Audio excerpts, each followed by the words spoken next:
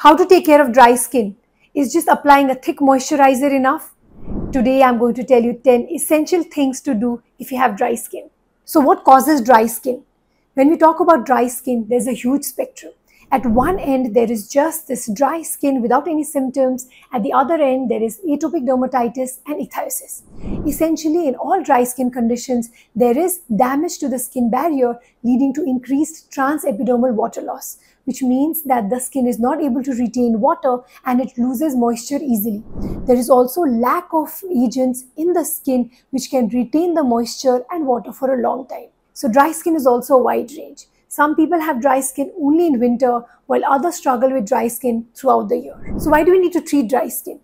It can be associated with itching, discomfort, feeling of stretchy skin. It can also exacerbate other skin conditions and it can delay wound healing. So for all these conditions, we have to make sure that the skin is well moisturized and is not dry or flaky. So here are 10 things that can help with tackling dry skin. First is bathing with lukewarm water. Remember that hot water tends to strip the skin of its oil. So you want to use lukewarm water to bathe.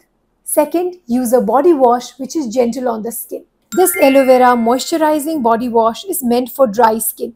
It has 5% colloidal oatmeal which is moisturizing and has anti-inflammatory properties.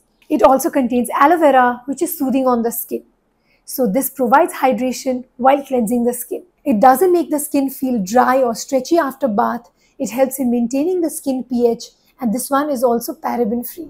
So using a gentle moisturizing body wash can be really helpful while tackling dry skin. Third is keep your showers short. The shower should not be more than 2 minutes long. If you have very dry skin, you can take a bucket bath. So in that bucket of water, you can add in about 8 to 10 tablespoons of coconut oil and bathe with that water. This way, it will not dry your skin out. Fourth is use a thin towel to wipe your body off. Don't use very thick towels as they can irritate and dry the skin further. So you want to use a very thin cotton towel and dab just the excess water off. Fifth is moisturize on damp skin. Using moisturizer on damp skin helps in sealing the moisture for a longer period of time and provides longer lasting hydration. This Elovera moisturizing cream is a good choice. This cream is designed for dry to extremely dry skin.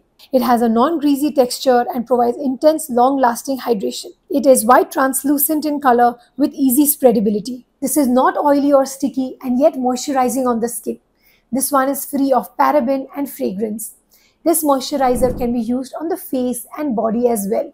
This moisturizer works really well for those with dry skin. Sixth is a layer of cotton should touch your skin. Woolen clothing should not touch your skin directly as wool can irritate and dry the skin out further. Seventh is use silk pillowcases. Silk pillowcases tend to have less friction as compared to cotton and linen and reduces the friction between the skin and the pillow. So this way your skin will not feel dry or stretchy when you wake up in the morning. Eighth is moisturizing the whole body properly before you go to sleep. This will help in reducing dryness and reduces water loss that can occur overnight. This is very important if you have very dry skin and also in elderly people who have dry skin as they age, moisturizing before sleep can really help. This Elovera cream can be used on the whole body at night as well. Ninth is using humidifiers at night. Using a humidifier at night can be very helpful if you have very dry skin or in elderly people who are above the age of 60 years. This will maintain humidity of the air and prevent excessive dryness of the skin overnight. So this is very helpful if you use it during winter time. 10th is use fragrance-free moisturizers. Fragrances can be irritating on the skin, especially if you have dry skin or you have atopic skin. On extremely dry skin, because there is already a damaged skin barrier, these irritants can cause more problem than on normal skin. So if you have dry sensitive skin, using fragrance-free moisturizers can help. So there you go, 10 essential things to keep in mind if you have dry skin. I hope you found this video useful. I want to thank Glenmark Elovera for collaborating with me on this video. If you like such skin and hair related content, then you can follow me on my Instagram handle, Dr. Aanchal MD, where I post such skin and hair related content daily. Yes, daily. Thank you for watching.